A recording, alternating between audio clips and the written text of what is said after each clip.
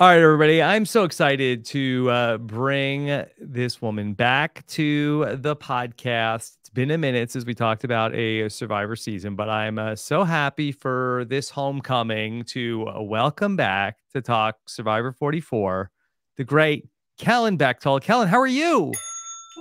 Woo! Hey, yo, Rabio. Yes. How's it going? It's been a while. It's been a minute, and I'm so excited to get to talk to you. And I know uh, we had been uh, chatting, and I know that you were following uh, this season. So I thought it would be a great time to have you back to talk about everything that's going on. And I've got uh, so many uh, questions for you.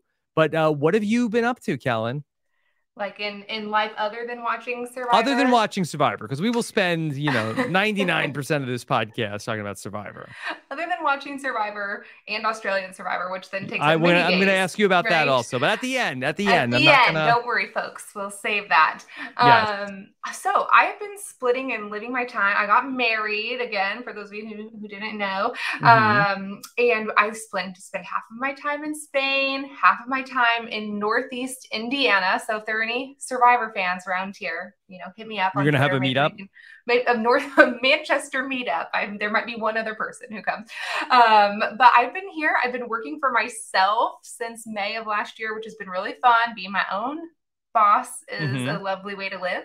I'm doing coaching, so you know, blah blah blah, life coaching. Yeah. But actually, it's really really fun. So Is that the specific type of coaching that you that you're doing? Because I feel like I see so much like uh like when I watch your stuff, I feel like you're often talking a lot about like specifically like business. Yeah, so I started out doing all career coaching, um, which is why many people come to work with me, whether they want to have a job change or they're asking for a promotion, negotiating their salary, not getting Mhm. along with their boss, these kinds of things. But now, like 85% of my clients have made it through that initial job change, and we're still working on a month to month basis. So, to be honest, it's, it's up in the air on the, the branding side of it. But what is genuine and real is the conversations I'm having with my clients and just helping them work through life changes. You know, Yes. it's we don't always have to stay on the same path if we don't want to. So, Okay. All right. Well, I think that that's probably going to be very relevant to the discussions we're going to have about these uh, survivor players and sort of like the uh, team dynamics at play here in Mhm. Survivor 44. But, you know, I'm so excited to have you, uh, one, back here on the podcast. But number two, that I am really excited to talk to somebody from Ghost Island specifically because I really feel like you know, and, and I've been doing uh, you know a lot of videos of going back and like trying to like go into like survivor history and sort of like uh, look at like you know how do we get here, like where, Hmm. wh- and in the research that I did last week, I did a video all about fake hidden immunity idols. And I really felt like that looking back, I really feel like that Ghost Island sort of soft launched the new era. Yes, Mhm. after Survivor 41 is officially the new era. But I really think like going back and looking at Survivor history, Ghost Island, I feel like was a season that got us like on the trajectory that we are on now. Mm, it's interesting. Uh, you mean from the production standpoint and just from our cast, especially Dom, bringing up this idea of passing around fake idols, you mean? So much so. Uh, so I feel like that both from uh, production and also from you know the, the your cast and and uh, just like the gameplay and sort of like the lessons and sort of like even like the way that the show was presented.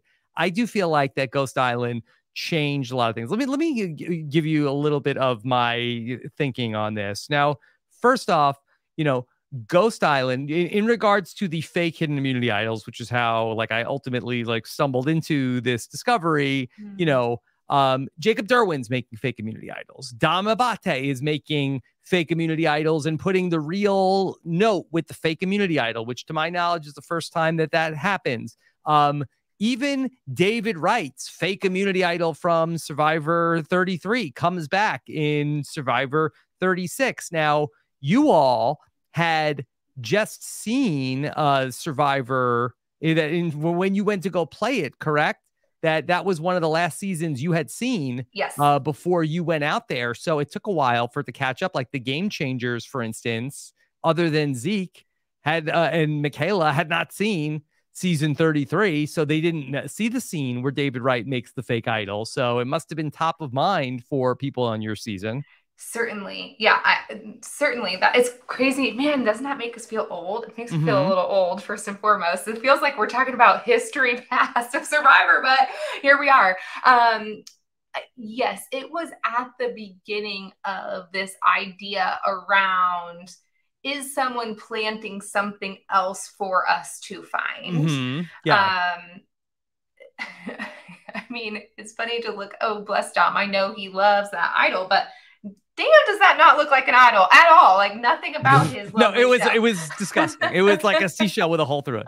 Um, but okay, but that's not even where I want to go with this. Okay, okay. okay. All right but also that I do believe then Ghost Island does also become sort of the uh, prototype ultimately for what ultimately becomes Shipwheel Island and going on the trek and that you're going to go you're to go on a journey you're going to go to a place and you're going to have a decision and you're going to risk your vote. Ghost Island is the first time that that mechanic is really introduced into the game of you get you get to have the opportunity to risk your vote to win a thing. Yes. Uh, will you will you ultimately risk it uh, to get some sort of advantage in the game? We hadn't seen that before. You were the first person to say, you know what? I am not going to risk my vote to no get the advantage. No thanks. Uh, my life is fine. yeah, I'm good here. I'm, i know what's going on. I know what would make good TV if I didn't have that vote. If I do mm-hmm. have a mm-hmm. vote, not quite as exciting. And then what do they do with that? They're like, lady, nah, nah, nah. Yes. now the people, I'm sorry to the 44 people, production says people like Kellyn are going to go out there and say, no, thank you.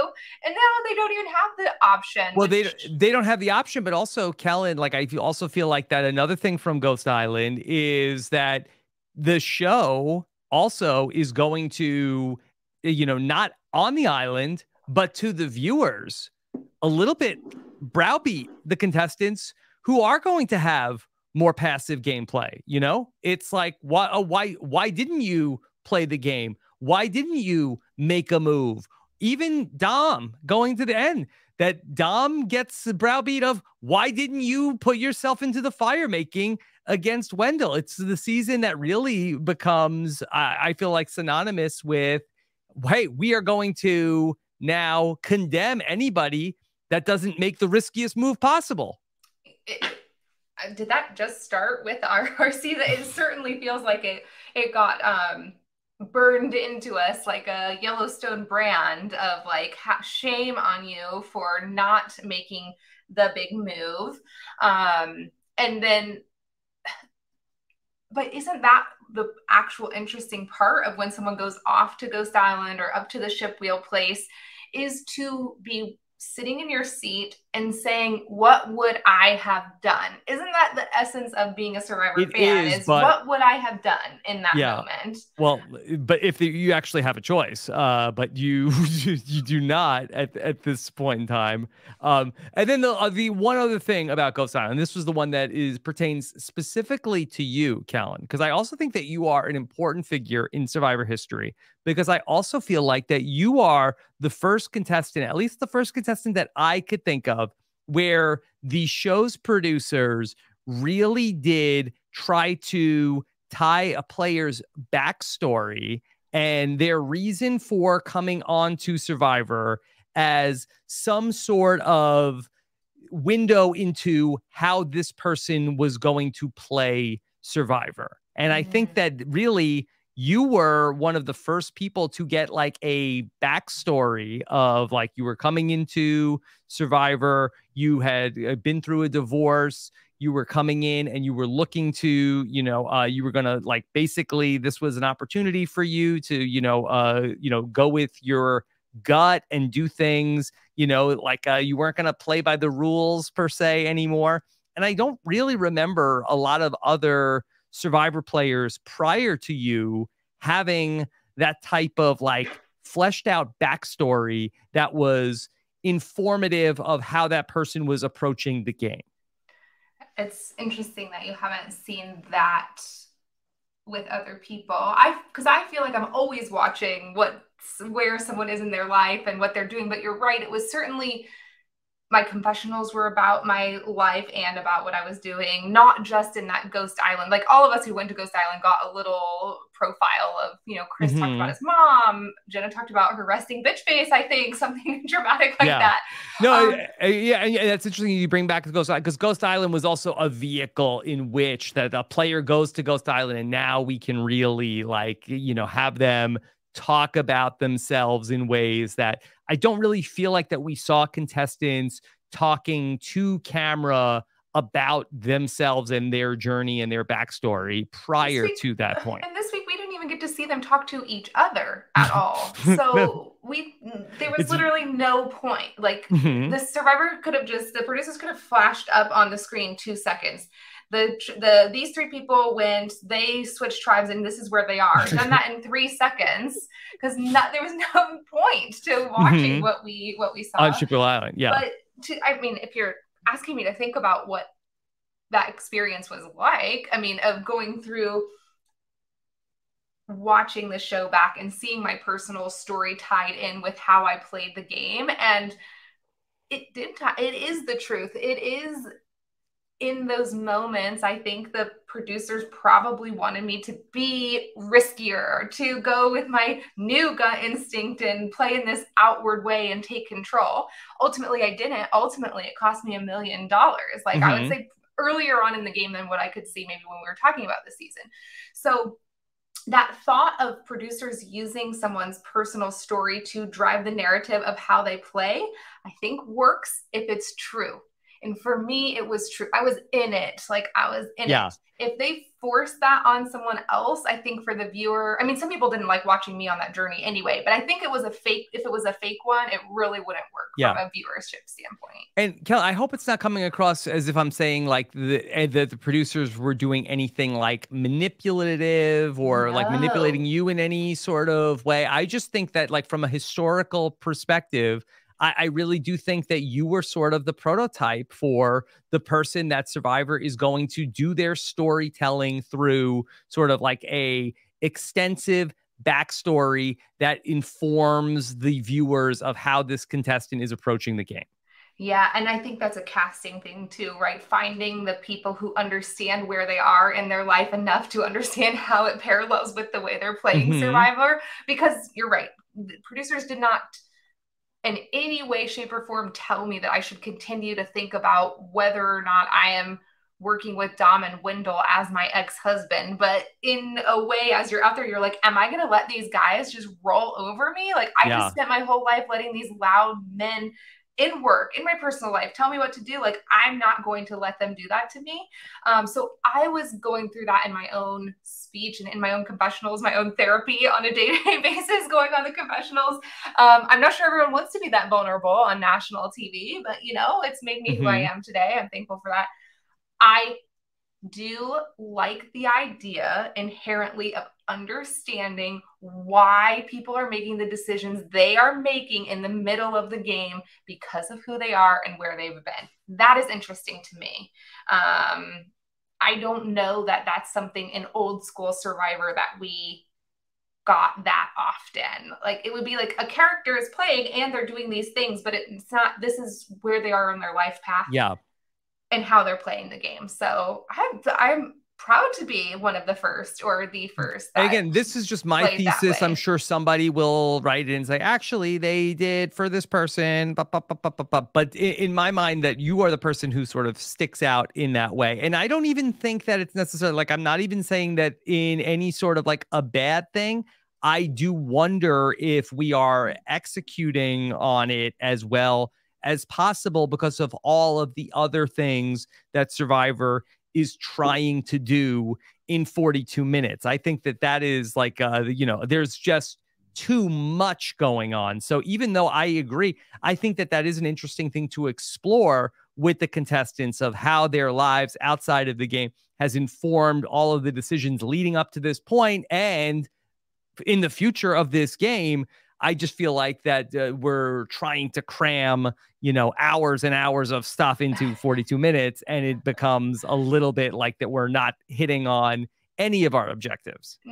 They're not hitting on any. I mean, or not as many as we would like. No, and to think, I guess Jesse is the person that we got to see there a little bit last season into why he was playing the way he was just from his background and sure. the life he wanted to have for his children i think.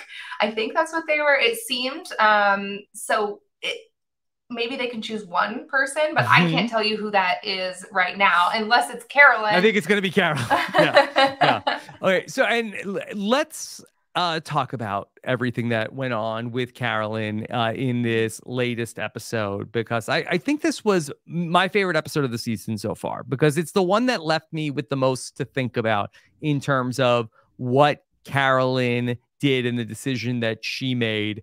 How did you feel about how Carolyn approached this vote ultimately to go with Josh and vote out Sarah? Oh, well, I actually have my little questions for you. Please, please, my question card.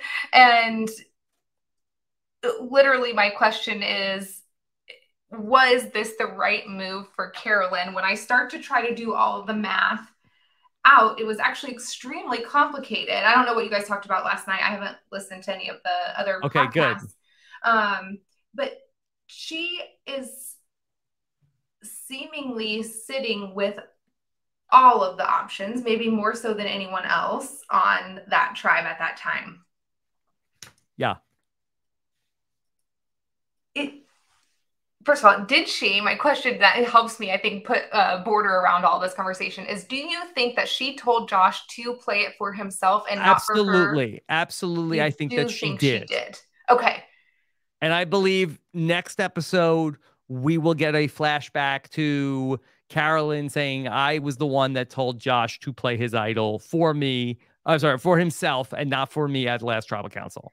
In that sense, then why did she not let Sarah's vote be the, or let Josh's vote be the only one to send Sarah home?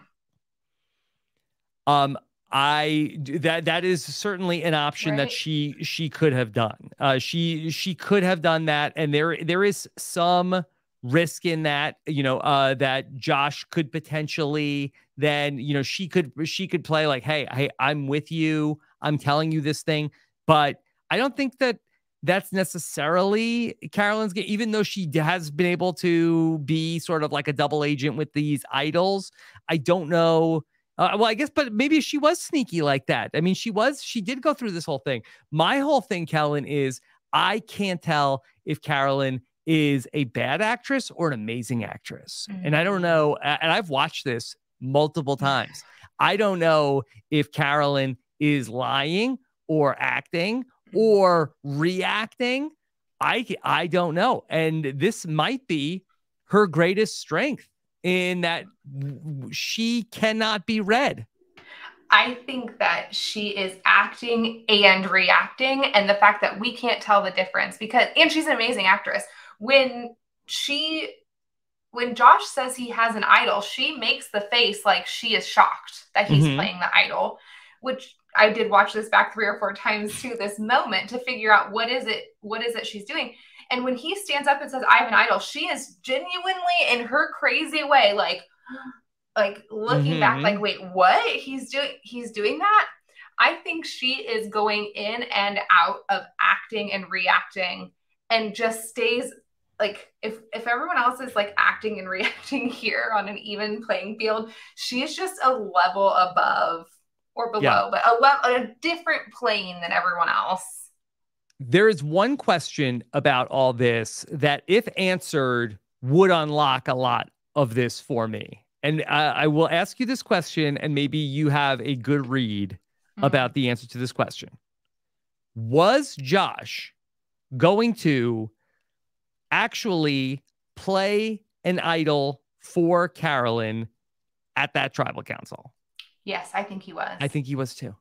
Uh, because that people have you know said like that's preposterous that he's not like uh, that he has an idol he why would he why would he play it why would he well, well actually there's so many so many layers to this kellyn and i i want to make sure i want to get the get this all out i think that for jam jam and for sarah if they thought he had something to think that he would go to that tribal council and not play it was a big miscalculation.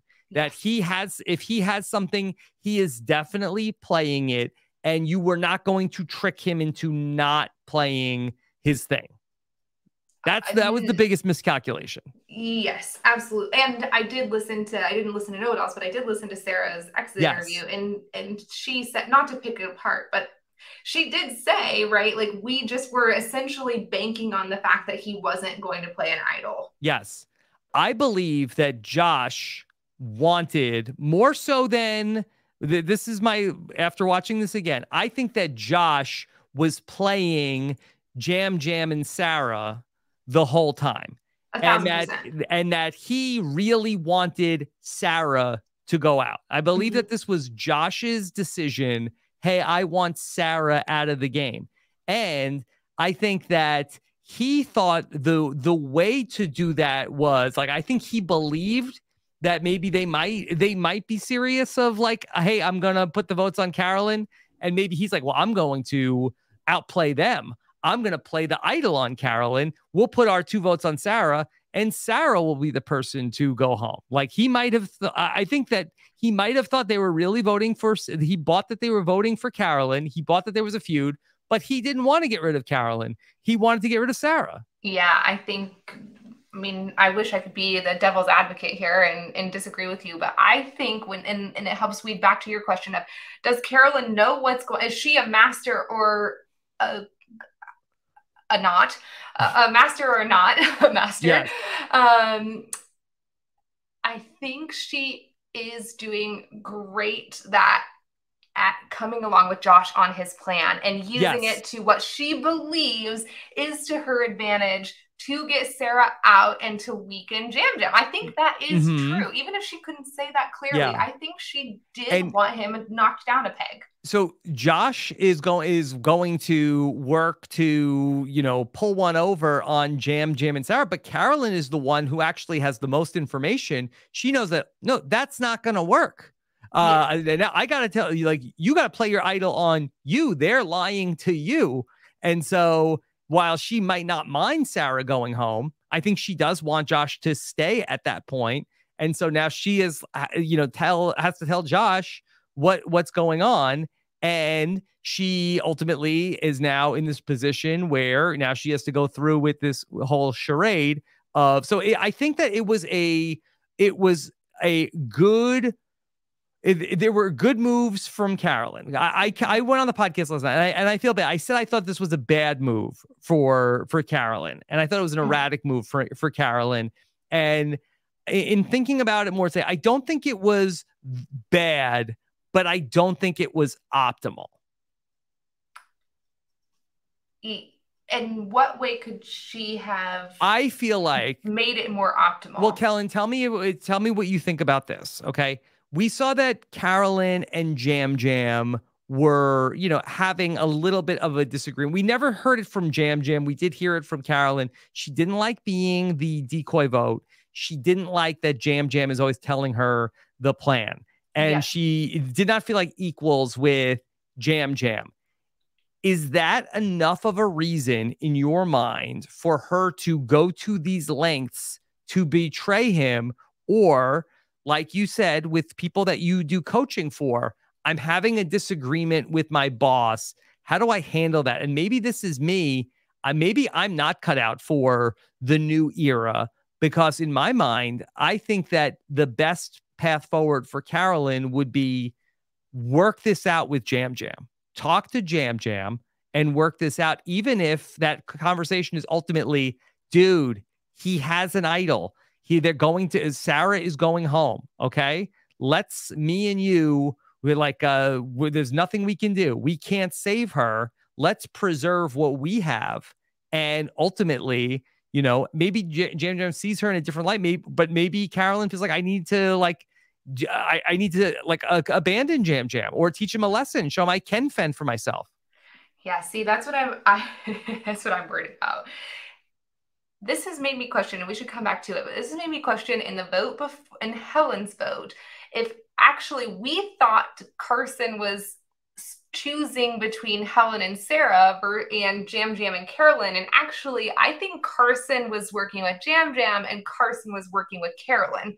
And those two seem to be. Say that one possible. more time. So remember the Helen vote? Yes. That it seemed like Carson was either going to go with Jam Jam and Carolyn or with Helen and Sarah. Mm-hmm. Right? I think instead of Carson choosing between those groups of two, I think it was Carson with Carolyn, separately Carson with Jam Jam, and then Helen and Sarah were over here, and Carson could have gone with that. So I think he was the central relationship.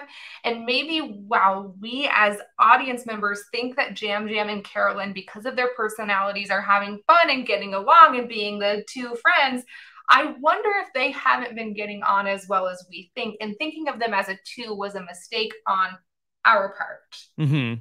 Yeah. Which then makes so much more sense for Carolyn to say, why would I stay with Jam Jam when he doesn't listen to me? He thinks he's better than me. He quote unquote said to my face, I'm not a threat. Maybe you could say, great. I will. He, Jam Jam was v- very, very bad in terms of uh, how he handled that whole situation where, you know, he does a lot of like, you know, uh, kidding, not kidding. Everybody thinks I'm a threat and not you. You know, yes. he does He's not bombing have... socially. I think on on the island, sadly, because I love watching him on TV, but it's not going well for him with with anybody really.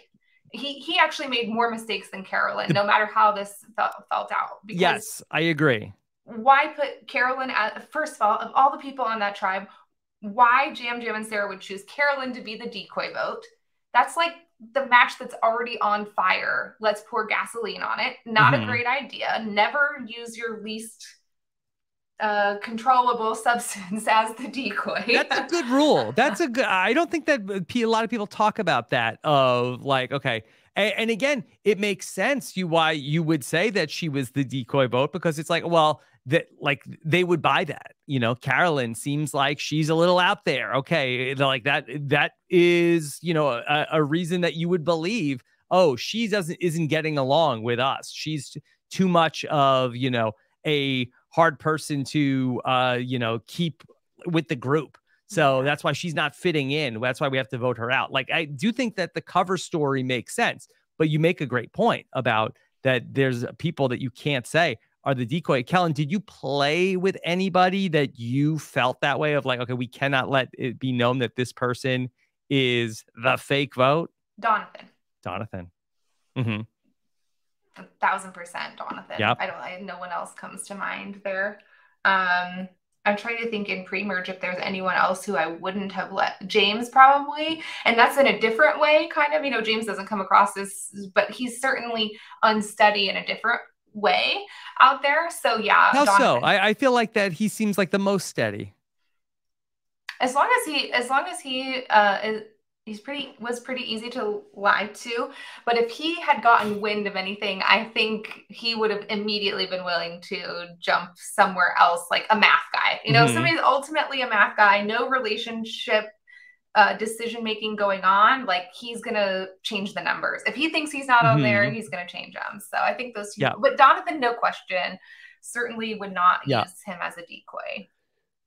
I want to also say that the other reason why I felt like that this was a bad decision for Carolyn was mm-hmm. that yes, she survives. Uh, she survives a vote. Um, but I, I and I guess people might be saying like, well, Rob, well, what do you think would have been the optimal move yes, for yes. her? So I think that she tells Jam Jam what's going on and being like, dude, like, uh, well, hold on. I guess I have to back up. The optimal move, I think, for Carolyn is Josh plays his idol for Carolyn. She goes along with Josh's plan to play the idol on her. That those guys are still able to uh, you know put put the vote on to uh, they put Jam Jam and, and Sarah put their two votes on Josh. Um, Josh plays the idol for Carolyn. If he does not, Carolyn stands up and plays her idol. You know, that's the ultimate. Mm. She has like the fail safe emergency yeah. brake. She could also, and I'm gonna, I'm talking and I'm not like writing this down with a with my pen. Um, if she puts one vote on Sarah, also just in case Josh double cross, like I, I, mean, I guess maybe part of her might have been afraid that are are they actually going to double cross me? Do they think that he does have an idol and that he is going to play it on himself and that they are going to uh, that double cross to protect each other? Maybe that thought is going through her head. Um, yeah. But but if he doesn't play the idol for her, she does have the and, and it's like, well, I don't want to waste my idol, but you know, at some point, you know, we like the idols are pretty easy to come by these days. You know, you gotta, you gotta. But, but wouldn't you say that we can almost be sure that she didn't think that she trusted that Yam Yam and Sarah were voting for Josh? She had to have trusted that.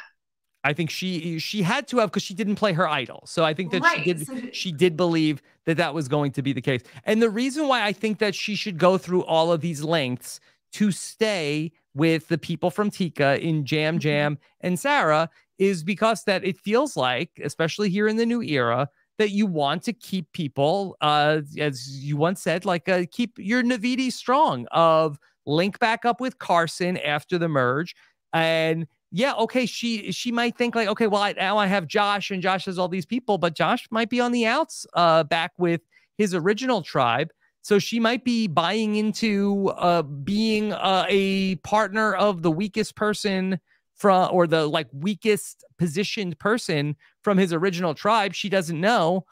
I, I feel like keeping the the four Tikas in the game for as long as possible. I feel like that seems optimal especially because we must assume that she and Carson had a great relationship. I do not think that she voted with Carson because of Yam Yam at all. So, yes, I agree with you that getting back to Carson with them, unless she has just been feeling left out anyway, and Carson was the only person who made her feel comfortable. And I think there's a chance that that mm-hmm. is the mm-hmm. case.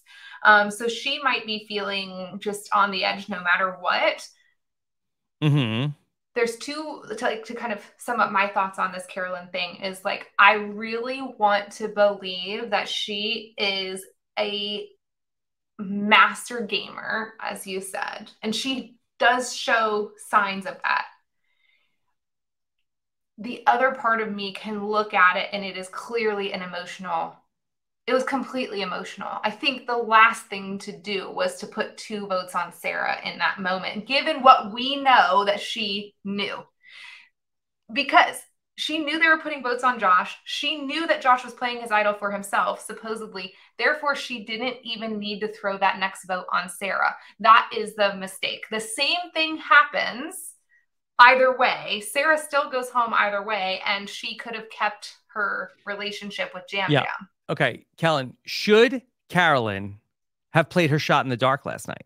In the same way that Matthew used it to make his vote disappear, I guess that the downside, the reason not to do that is if Josh, for some reason, doesn't play his idol, I guess uh, it would not be a 2 2 tie. It would be a 2 1 vote, and Josh would just go home. But okay, no harm, no foul, right? Yeah. Um, Carolyn still has her idol. Mm-hmm. Um, she doesn't have to cat. She doesn't have to flip on Yam Yam, and she could say like, "Hey, I had to play the shot in the dark. I was freaking out, man. Okay." Yes. Yeah. Actually, yes, a thousand percent. I hadn't thought that far in advance, but that is the way to go. Mm-hmm. You get yeah. off scot free. She could have done the exact same thing though, and saved her shot in the dark, and still thrown her vote on Josh. Yeah, and maybe she hits it. maybe she hits it.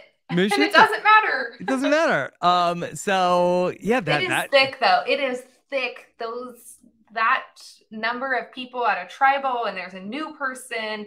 It there is a lot going on. There's a lot to think mm-hmm. through. There's a, a, a, lot, you know, you wouldn't think with four people, but you guess you throw so many other th- doodads in there, idols, real idols, fake idols.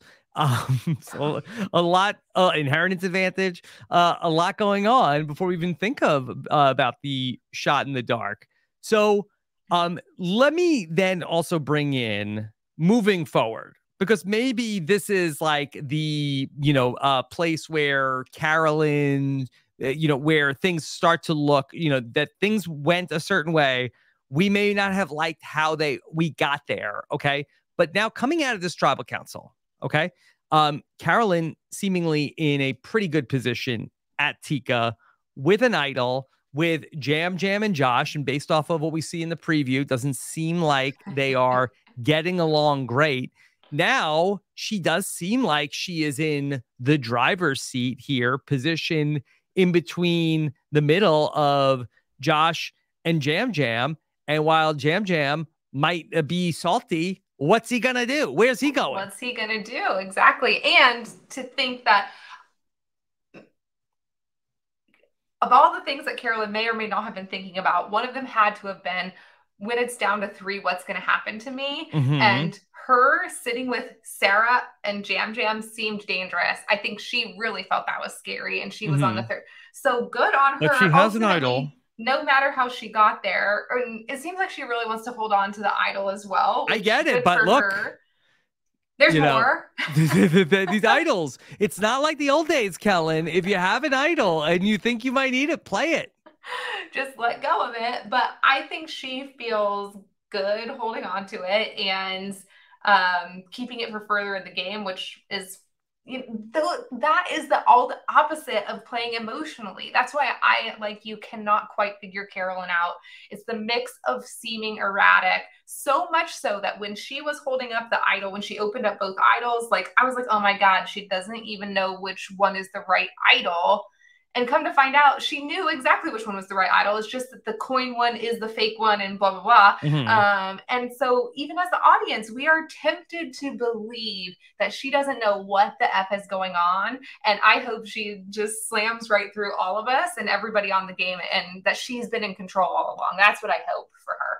Yeah, and while I have been a little critical, uh, uh, or I, have been very critical of uh, of the move, even though I still um working it out in my head of what I think about it. I do want to say I appreciate Carolyn so much as a as at, at for right now a character on the show. Already, she is an all time character on the show and one of like the greatest casting finds.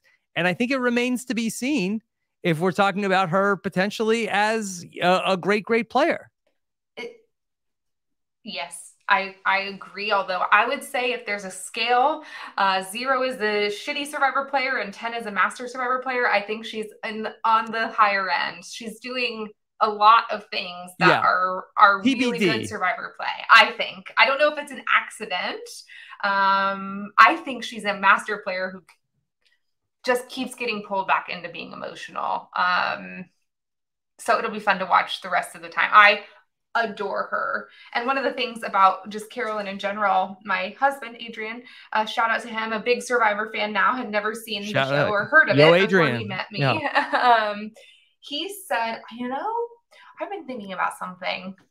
He said, I think to be a Survivor woman winner, you have to play a, what is it? I wrote it down. I said, wait, what did you say? Because I don't want to quote him wrong. He said, I think you're right. To be a woman survivor winner, you have to be a better winner than if you're a man. And he said, it seems like the only way you can get through is to be seen as a ditz, just like how Carolyn is getting through right now. Hmm. And it's kind of leads us in a different first of all i love carolyn she comes across here we are talking about does she know what's going on completely does she not and how much that has worked to her advantage over a Helen, over a Maddy, over the other women who have been seen as stable, intelligent women, um, that she's being a little bit perceived as less in control makes her less of a threat.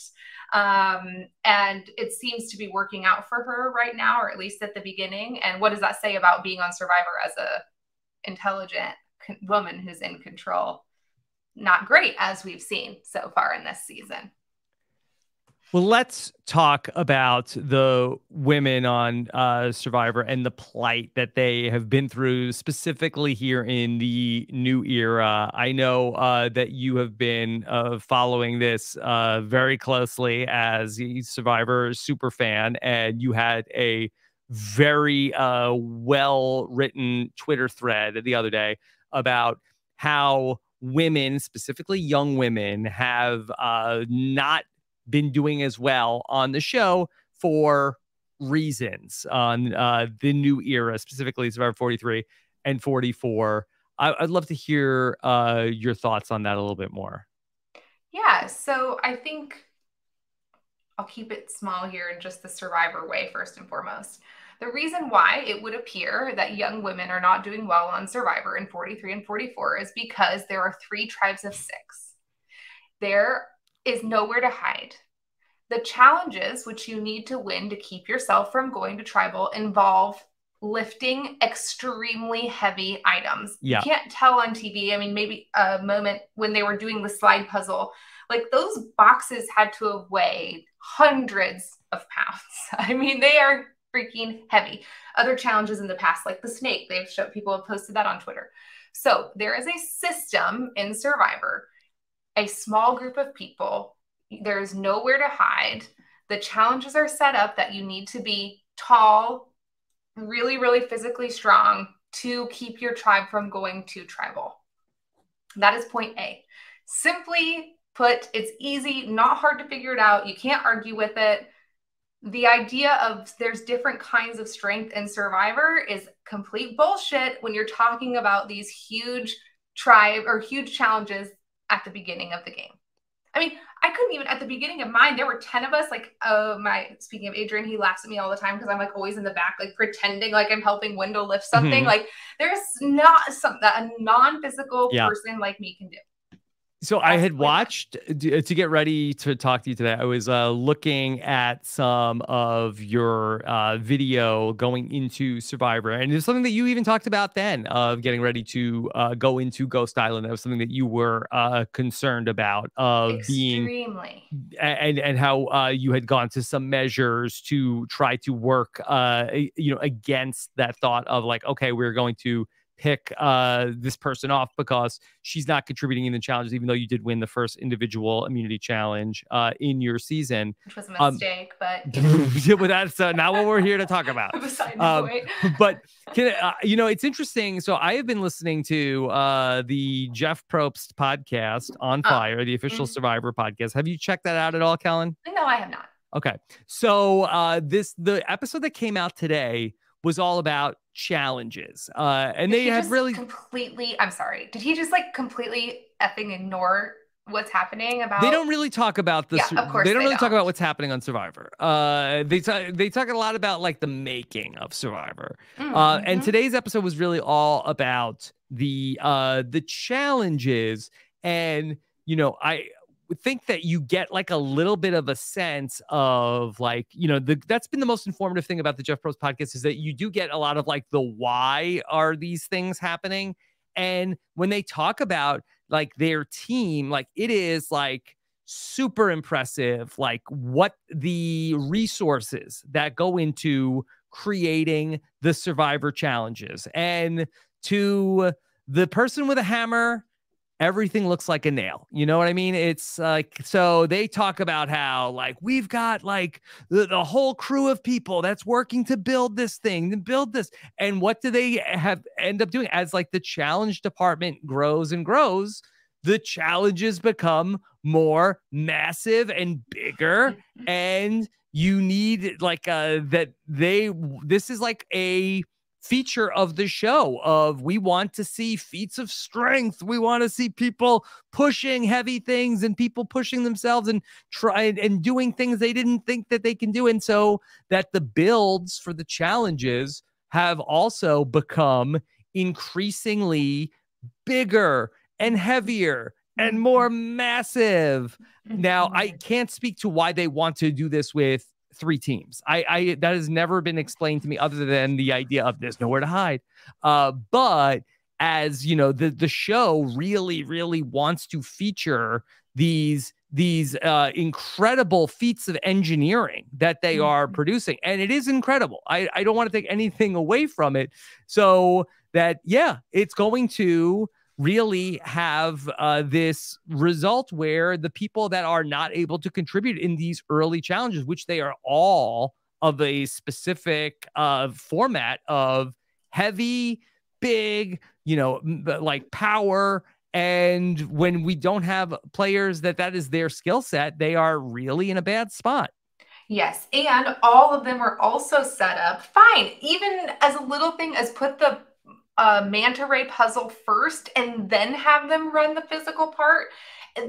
You can't even make up for the maybe that doesn't work out in the math, but you can't even make up for getting that far behind physically if and get to the puzzle and you're already so far behind you can't make up for that no matter how good at puzzles you are. Mm-hmm. um in one of our challenges people were like riding the surfboard on ghost island and there was like a, a slide word puzzle with bradley and i. Like we were just so far behind. There was we did that puzzle faster than they did but we were way too far behind because mm-hmm. of the physical part yeah anyway so it's just purely there is no like if they got rid of yam yam for example like Carson, Carolyn, Sarah, and Helen would not have been able to lift the blocks that are like probably physically not able to do it. So mm-hmm. that is part one of the system that is yeah setting young women up okay. for failure. Okay. Anything else? Uh, no, I think that, that is part one is established. Okay. Uh, but there are more parts. There are more parts. I think the second part is that there is a societal a societal view of women and there's a societal view of men and you can go back to when reading research around how boys in school are called bosses and girls in school are called bossy um, boys are allowed to be assertive, while a woman who has a volume to her voice is aggressive. Um, there are all of these things that in our society of this unfortunately like gender binary society that people want us to stay in, there are these stereotypes of men versus women. Mm-hmm. In Survivor, if you are a woman who appears to have a plan. This comes from my husband as well, so it's not just a crazy lady on the mm-hmm. on the mm-hmm. pedestal.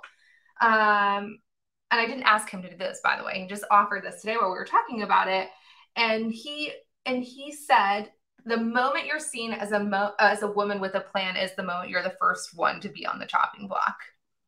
Mm-hmm. And to think that you have to get through however many night 17 tribal councils and be the woman who has never had a plan and then somehow at the end convince everyone that you were the one with the plan who maryanne so successfully beautifully did it maryanne amazingly didn't seem like the woman with the plan and then stuck the landing but that is impossibly hard to do yeah. to not be vocal about your game because you'll be seen as a threat. Helen saying, I don't want to be seen as an intelligent person. And then there she is on the puzzle, and it's like, just by being herself, mm-hmm. she becomes a threat that way. Even with Carson, who gets it? Yeah. Carson, the astronaut, he gets to be smart in a way that Helen doesn't, right? And it's is that funny to you? I know he's not really an astronaut. But... yeah, this is funny. Yeah, I mean Helen breathed, and they're like, "Ah, watch out for her." Yeah. Oh my gosh! Like, how dare she exist in this mm-hmm. space? So I think we have to understand there are challenges that are set up for certain people. There are societal beliefs that are inherently inside of us that we have biases around women in control. And then over all of it is a set of male executive producers mm-hmm. who can have a conversation about building these bigger and bigger and bigger sets to stretch out their egos without even commenting on the idea that it may impact someone different than them. And I think we have to see that whole yeah and, system. And I don't know the um, gender makeup of the you know producing team that's working on the challenges, so I I don't want to uh like. Well, I know you, don't have to say I know Jeff and Matt. I'm pretty mm-hmm. sure. I'm well, pretty yeah, sure that, that that's the that is the top, and I don't know what they changed uh post season 39, and I don't know uh you know what they changed post uh season 40 in terms of like the the makeup of the producing team I I agree with everything you're saying. I just don't know necessarily That's like fair. uh the makeup of uh, the executive of, team. Of Jeff and Matt. That's what yeah. I am speaking of. And I want to also one more thing, and I can. I don't know that I'm I'm solving. Well, I do have some suggestions on how yes. to improve it, but I would say one more thing is I I, as a white woman, get to have this conversation, and that is just I, I'm a woman, and therefore I have this that I get to say and be upset about, rightfully so.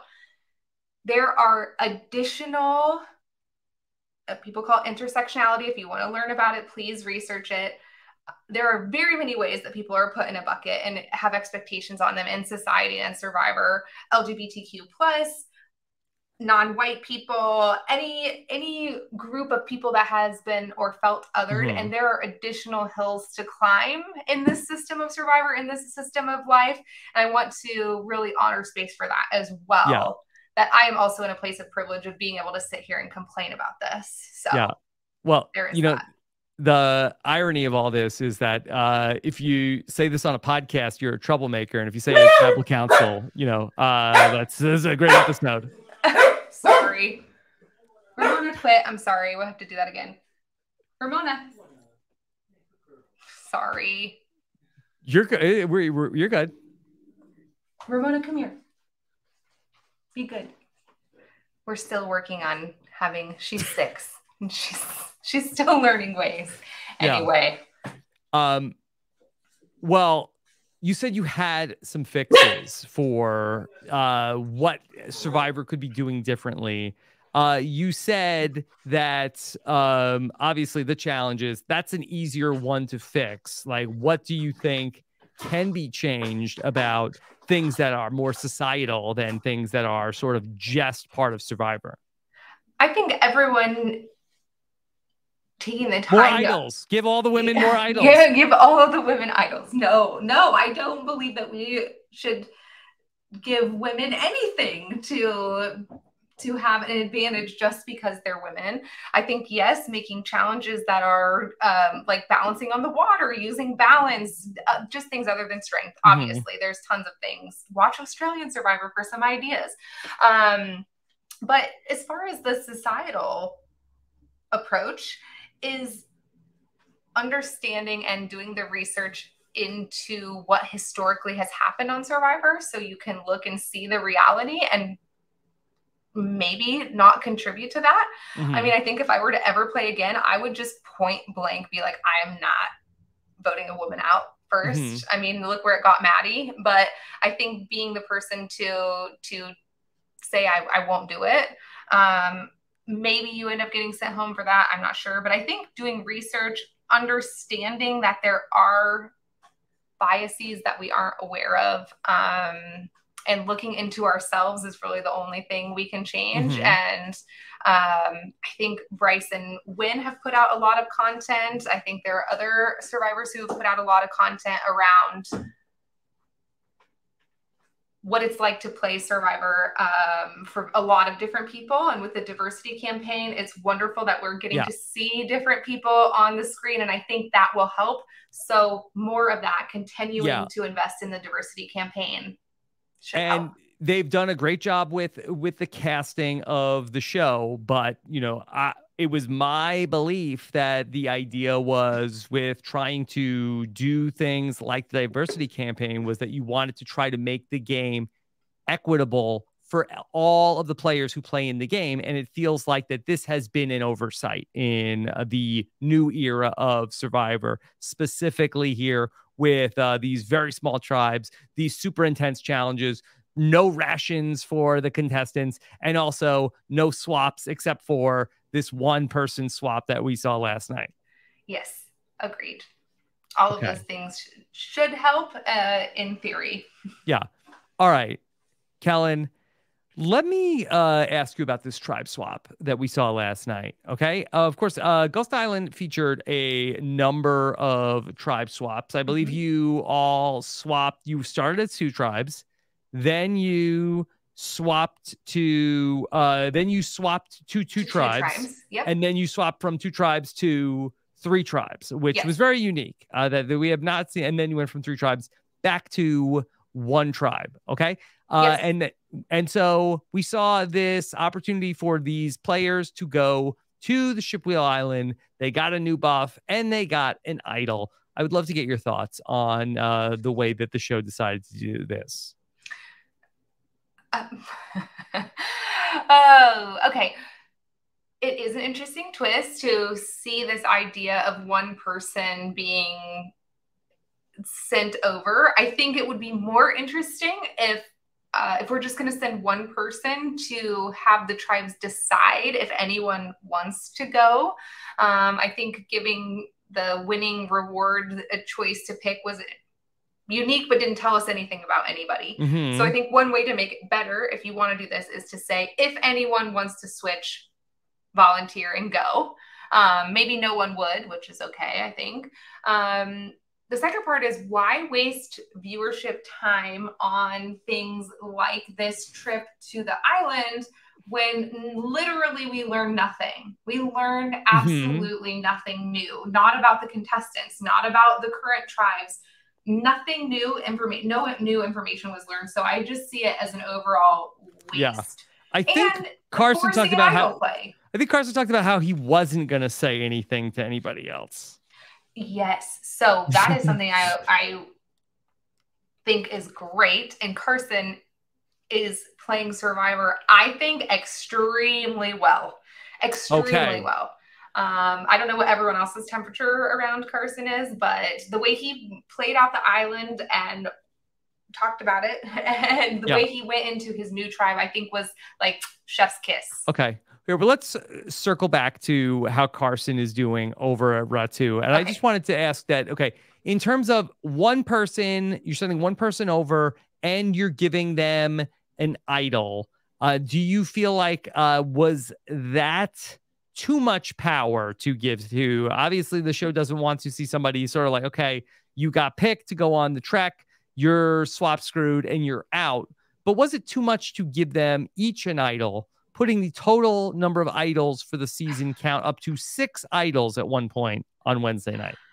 I can't even keep track of how many things there are. Like, thank God the people on Twitter who put out the list of this many, like Mike Blooms was very helpful. This many real idols, mm-hmm. this many fake but thinking real idols, this many fake idols. Like, it is a massive, first of all, I guess all the producers wanted was for someone to go to a new tribe and get forced to play an idol. Apparently, that is the most exciting moment they're trying to create is an idol play because yes. everything, all paths lead to someone playing an idol last night.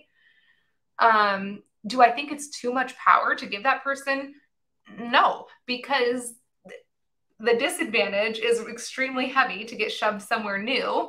And the only thing that keeps you on an even playing field for the shot that you just you know took um, by getting yanked from all the play that you've been putting in mm-hmm. like the only thing to m- give them a quote unquote fair shot is probably to give them an idol i think without the idol they're just left in the out in the dark so okay i hate all of it it's too much. Okay. it's um, too much, but in in any way, did it remind you of back uh, during your second swap? Uh, sorry, the first sorry the first swap of Survivor Ghost Island. Michael Yerger has mm-hmm. found uh, an advantage. Okay, uh, that he is in the group that is uh, in the minority of numbers, mm-hmm. and that you all are in the majority, having to figure out how to play this where Michael Yerger is uh, saying that he has James's idol from Survivor China, which can he can use to protect actually not one but two people. Mm-hmm, mm-hmm. That was one of the most shocking moments of my own game of Survivor. was when we were going in. So I've gone to Ghost Island. I've saved my bow. We have original Naviti five, four original Malolos, right? And in the middle of tribal, Michael says, I have a pitch for all of you on Naviti. Mm-hmm. I don't mm-hmm. remember if they showed it. Like I forget how they showed it, but this is this is what I remember happening. Okay. Yes. Um, Your truth. That Michael says, I have James's idol. I have two, or it works for two people because he went home with two in his pocket. And I am just, but they announce we are all voting for Bradley. You guys should come and vote with us to yeah. show that you want to work with us, essentially, is what they were saying. Yes. Originally, when we had gone into that travel, we were voting Michael. I know the story is that Brendan believes that he knew it was him, blah, blah, blah, blah, blah. We were voting Michael until Michael pulls out that he has an idol. Then I am going through the tribe. Bradley is just struck because Michael says along the lines of, he is the Hitler. That's what he said. That got edited out of the Golden Boy. Trust me, I remember that. Michael was like, Bradley is the Hitler of their tribe. We are voting him out and you should come with us. Mm-hmm. So Bradley is shocked. We are all shocked. I am trying to keep these baby ducks together. Like, I just saved my vote. I have to keep everyone together. And we go around, we tell everyone, everyone's like, remember plan B, plan B, plan B. Of course, Sebastian is in the background. He's like, I don't remember plan B. Sweet Sebastian. Bradley tells them it all, everyone sticks together and works. They made the mistake of saying who would they vote for. We didn't care that Bradley was going to go home if he were the sacrifice. Mm-hmm. Um, sorry. No i just got lost. Were you like come back to me no this is good. This is a good story. Okay. Okay good. Um anyway so what ends up happening is we thought where we made the mistake we thought michael was closer to the girls than he was with brendan. We didn't think he would save brendan. If he had two idols he would play it for himself and one of the girls. So we voted brendan off that night. Mm-hmm. um why did you ask me about this? because that we had a situation where, you know, after a swap, somebody has an idol. It's yes. a situation where you have to, uh, as uh, Stephen Fishbach uh, said when I said, uh, "What's a profession that somebody needs a steady hand? Uh, disarm a bomb." That's kind of like what you all had to do. We did have to disarm the bomb right in the middle of that tribal. Absolutely, one of the most fun moments of being on the show, and I think my first tribal actually. Mm-hmm. So it was a it was a crazy thing to have that go down in the middle of tribal. And good on Michael Yerger. It was a great story, right? James went home with two idols. Now it can play for two people. Uh, he did a great job, but thankfully, you know, Naviti strong. You got to keep that tribe together, keep the majority. Keep that tribe together. together. And there was no Carolyn on Naviti. Uh, that was, uh, you know, Chelsea wasn't like, uh, like, oh, I got to work with, uh, you know, I don't, I don't like how I'm being told what to do thankfully no one was feeling like they were being bossed around too much. No matter what malolo was trying to say was that bradley was bossing us all around too much.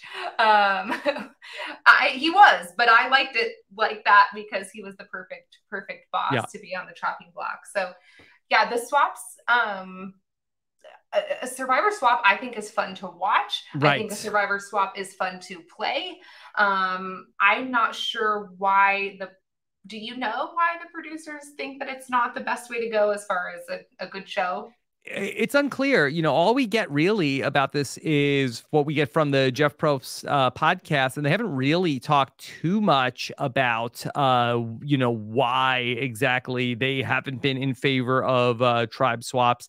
I think that they've just been much more in favor of. They really love this idea of going back to Ghost Island. Of you have to, you know, risk your vote to get a reward with the possibility of a penalty. And I think that that sort of just eats into this idea of a tribe swap. They really want to have these uh, small tribes, no place to hide, and then everybody coming together at the merge. And while I do like, you know, when we've gotten, you know, exciting play at the merge uh, from having the three tribe uh, season, I do think that, you know, mm-hmm. you sort of like, pay a tax up front with these uh, three tribe seasons, not just uh, as we've seen with voting the women out, but in terms of sometimes you don't get to know the players as well with three tribes. I do think you tend to have a more exciting and fluid post merge game.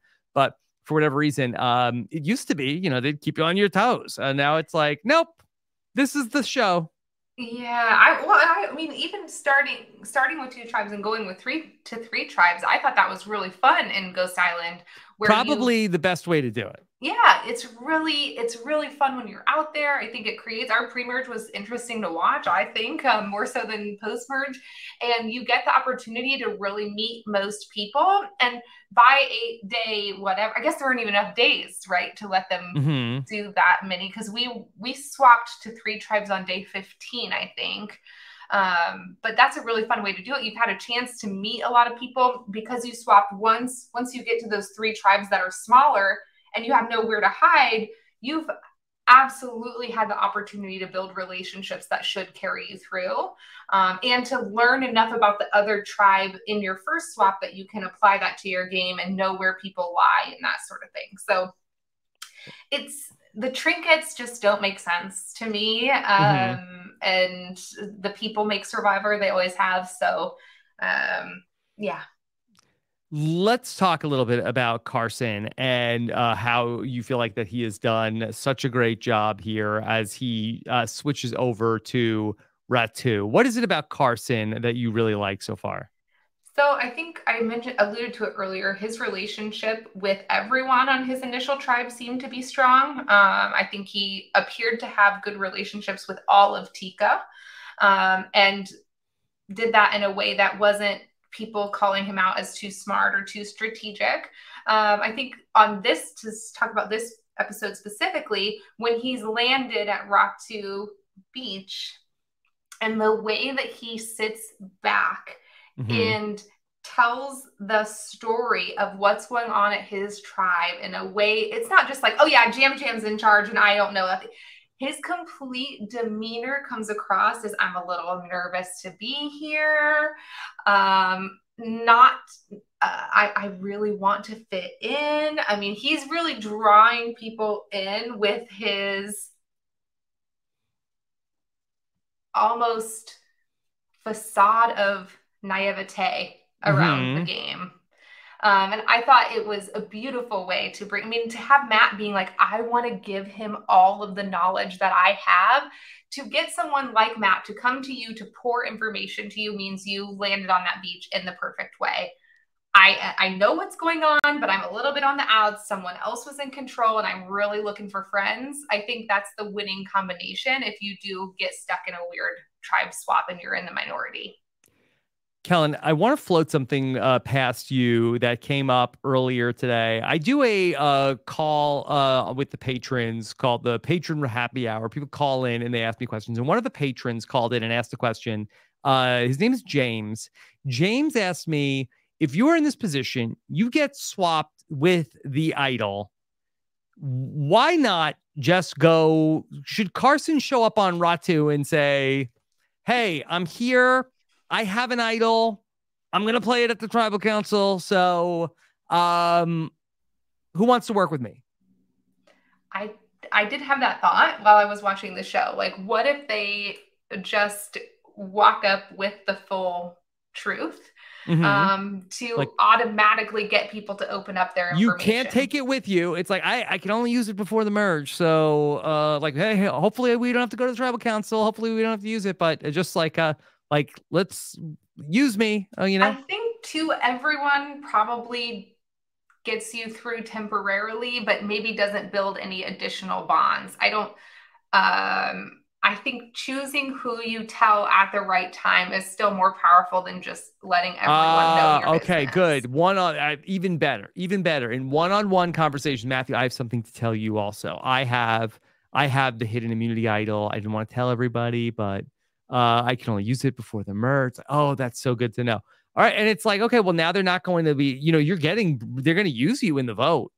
In fact, I would actually only do that and start speaking of it if I heard my name was coming up, which ultimately you do, right? You ultimately usually get a tingling or an inkling or a fear, in which case, then you tell people, then you start to plant the seed, deflect that your name has come up. Um, mm-hmm. it would be really hard to say you could read that necessarily, but I think you right. don't want to even use it on a one on one conversation building unless for some reason you think you need it. Carson, right now, Matt is coming in and telling him everything. I don't think Carson should be spilling those beans yet. Mm-hmm. Yeah, and I guess the downside of that, we're thinking about this as like normal survivor, and like, oh, what if somebody has knowledge is power, Kellyn? You could tell somebody, "Oh, I have the idol. I'm going to be using it tonight," and then you go to tribal council. People like, uh, Kellyn, do you have the idol? Can I have that back? Can please? I have that idol? It's like, oh, why did I say anything? why did I tell? Mm-hmm. Oh God, is there going to be a knowledge is power on top of Jeff loves knowledge is power. He said on the Jeff Probst podcast that they said if you could get any survivor tattoo, uh, what would it be? He said I would get uh, KIP on my butt he loves it. they love knowledge is power. Hey, oh, knowledge is power, but not when you talk about it all the time. Mm-hmm. Yeah. Like actual knowledge of where everything is is power. Um, there shouldn't be a thing that like tells you where all the things are. Isn't it just like more and more like Jeff's like ultimate wish of knowing that he would win the game if he were to play and like all of the ways that he relates to the game which is he knows everything. And so therefore he oh i never thought of it that way. because he's the omniscient character and therefore he wants players to be more like him in some way shape or form. So that's that is an interesting theory and i i'm i'm but that's not how i look at it. That i just feel like that unfortunately we look at the game as players and i think that a lot of people that listen to podcasts that they look at the game as as players and how would i do if i was a player in the game. And i think that the people that make the show they don't have that same viewpoint. They look at the show as how do we how do we make this as exciting as possible? How do we not mm-hmm. have like one dull minute in the show? Like well we can't just like bank on the players being interesting the whole time. We need to we we're producers. We need to be like uh putting as many ideas as possible in this thing because that that'll really make it as exciting as possible. And so I think that they look at it not like we look at it of how do you improve survivor the game and i think that they're just only looking at survivor as a tv show that needs to be more and more exciting to compete with celebrities in costumes singing pop songs with lights and uh, going off yeah. and um that's i think what they're you know that that's what I, what i think that they think is going to bring the ratings and you know keep their jobs for as long as possible. And look, we are not casual Survivor fans in any way, shape, or form. Um, so maybe that's true, but I, would say I think of my parents who are casual Survivor fans and like yes. the true demographic of like who's watching Survivor, and they're just simply confused. Like they are mm-hmm. confused. By, I mean, I'm confused, and I keep track and listen to podcasts and and keep up with Twitter every week. And, and you like, played on the show. I played on the show. yeah, there's that part of it. And yeah. I've I have trouble keeping track of everything. And so yeah. maybe they should start to think about bigger, but mm-hmm. less. Um yeah. maybe that's it. But I, I think it's like one of those uh I, and I don't want to get the artist wrong, but is it like uh like a MC Escher drawing where it's like the the more you look at it, the less it makes sense. If you look at it from far away, it's like, oh, okay, this happened. Oh, yes. But I don't think it's a good sign for the show when you have like survivor know-it-alls and Steven and I are like, oh, what the, we don't like uh we can't explain what just happened. As a survivor, no, know it all, not mm-hmm. at all. yeah, it's it's just I think it's a blanket, no question about it, too far. It's gone too far. And if you if I were to go play Survivor now, I would think of it more of a game show. Yeah. because if I think if you go into it thinking, how do I go in, make relationships, and come out being the person who gets voted to have a million dollars, I think you will crash and burn, you know, mm-hmm. all but one person is going to crash and burn. And then to think that you could have done anything differently, you have to live with that anyway. And I really want modern era survivors to understand that they're playing Candyland, they're not playing poker anymore. And it's like, you yeah. just pull the card and you might or Chutes and Ladders rather i think is a better example you're playing Chutes and Ladders and not poker and so knowing that you're going in and you can just flip any card and it could send you one way or the other um, to be able to survive your way through it from a humanity standpoint i think you have to look at it that way and even as a fan to keep myself on board enjoy the people who are on tv because casting i think has ramped up in what who they're bringing on the show in so many ways. Mm-hmm. I love the cast of last almost everyone in the cast of last season and everyone on this season. Yeah. Casting is is nailing it. So. And I always try to, you know, especially when uh, you know, we're critical of like creative decisions that are being made. I feel like that the casting is as good or if not better than it ever has been in the history of the show. And I do think that that is by design of that they're going to find like really amazing, interesting people and then they're gonna like let whatever like happens happens like uh like let's just like take in very interesting likable people and then let's set this to random and you know ultimately whoever we're left with will be happy just let it go part. i mean they, they're giving even the moments they let us have like watch I never watch the challenges again on a rewatch. I watched them again last or this mm-hmm. morning when I was prepping for this because just watching Danny like flip into the like head first over into the net before the slingshot.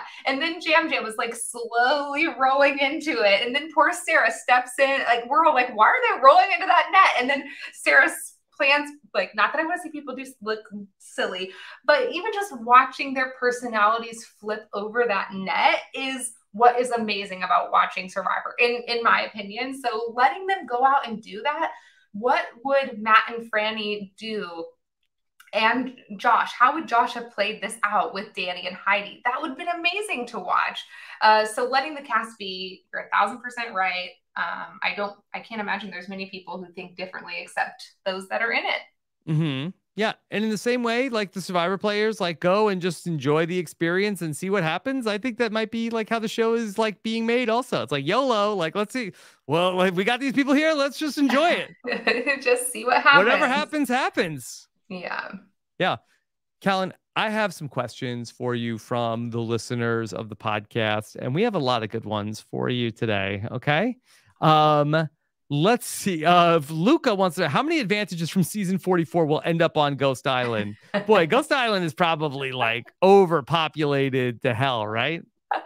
It already was. There were already, it was a full on when you were at Ghost Island, like up the path, bigger than you can imagine from screen.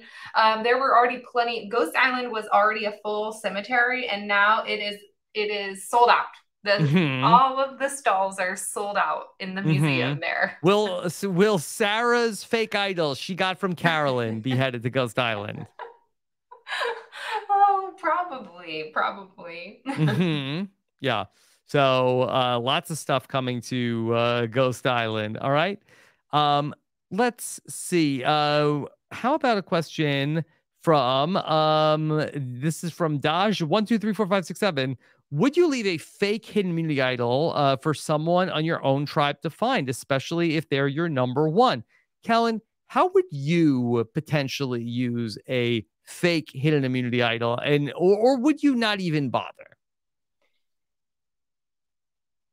Honestly, I'm not sure I would even bother unless I unless you were down to it. Like all of this uh, yeah. sparkle stuff is like pretty crazy to think about, even with what Carolyn did this episode to kind of go this to play hard this early when it doesn't get recognized by the jury necessarily it seems hard however if i were in say the top 10 and um, maybe i would have loved to plant one for someone who i knew was going home so they would feel safe and play it mm-hmm. um, i found it really interesting to watch actually the birdcage debacle of mm-hmm.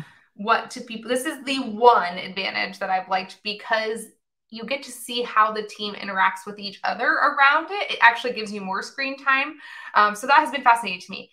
I like the idea of putting the fake idol back in the cage and seeing somebody else find the key and mm-hmm. watch them do that.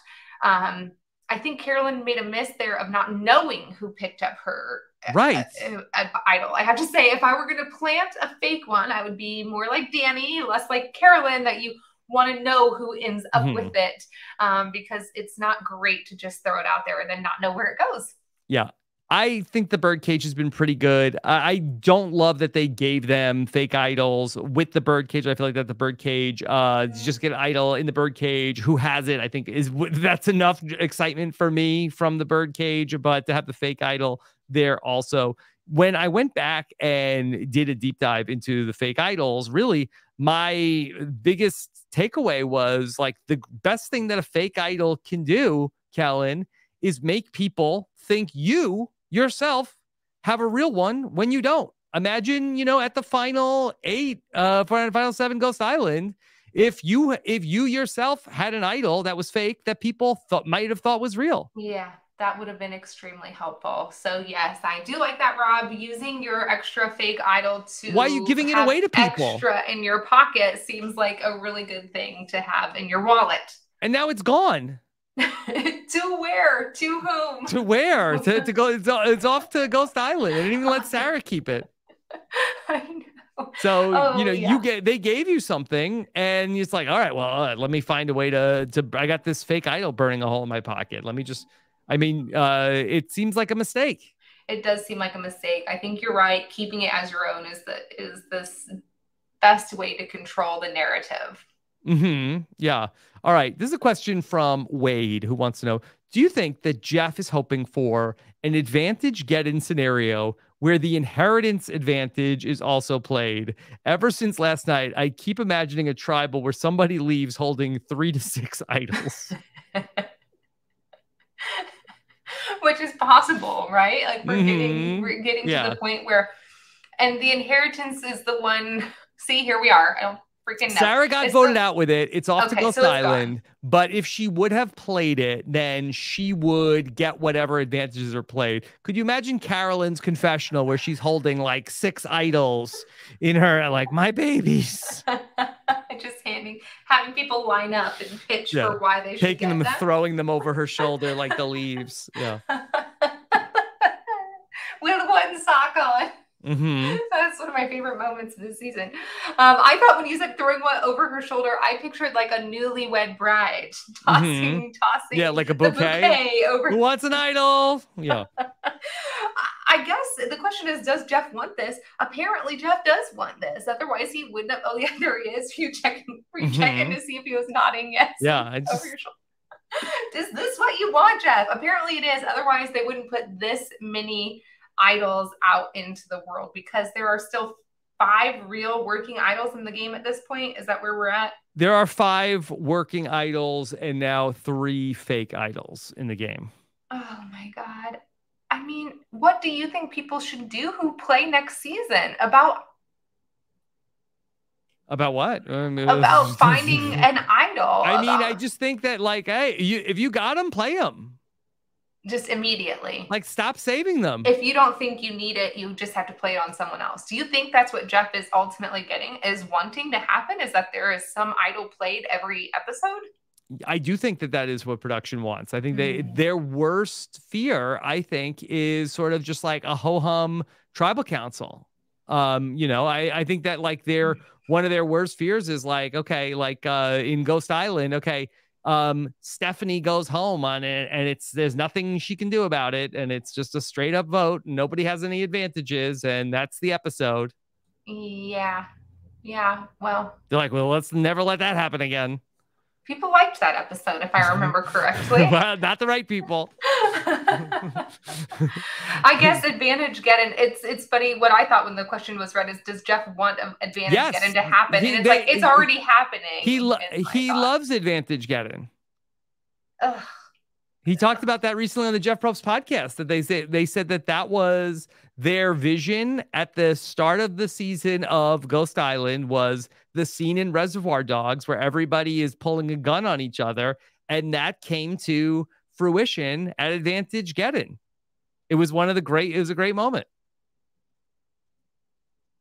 I'm speechless. In fairness. Suri herself said it was a uh, a great moment, which uh, well, I will, with all due respect to Suri, I disagree. Uh, but you know, that's they loved it. Oh, oh, oh, man, it's just it's hard. It's hard. It's hard to feel out of control of it. the the ultimate thing that Survivor is worried about is that things could get boring. Just because they themselves are bored does not necessarily mean that Survivor is boring. I could watch Carolyn, and I think most of America could watch Carolyn Yeah. for 42 you already have week. Carolyn on a TV show. It's not going to get boring. you have Yam Yam on a TV show. You Mhm. have I I mean watching Danny. We haven't even talked about that's what all this advantages and idols and all this BS has done is like there are so many people talking about Matt. Oh my god, yeah. How I thought for sure he was gonna miss pulling that key down when he jumps just because things are not going right. his way. Yeah. I mean, Frannie is amazing. There are so many talking about Danny's game so far is what we should be talking about. He yeah. is hilarious, and there's just no time to right. do that because of all this stuff. Kellyn, boring is underrated. You know what else used to be boring? Politics. Okay. I miss those days. Exciting isn't always good. Exciting is not always good. And yes, exciting and controversial versus um, all the feelings that we used to get when you used to watch Survivor. Yeah. Okay. All right. How about a question? Uh, Tommy Guam said Kellyn famously decided not to play the Ghost Island game. How does she feel about production taking away choices, and how would that have affected her game on Ghost Island if she was forced to play. Now, this season, it's been a departure over at Shipwheel Island. You used to have the option of do I risk my vote mm-hmm. or do I protect my vote? And if you protected your vote, you ultimately opted out of potentially uh, losing your vote, and but you couldn't get an advantage. Now you stick your hand in the bag, at least as it happened uh, the one time. You stick your hand in the bag you do not have the option that has been taken off the table, the option to protect your vote. The only way to protect your vote is not to go to Shipwheel Island.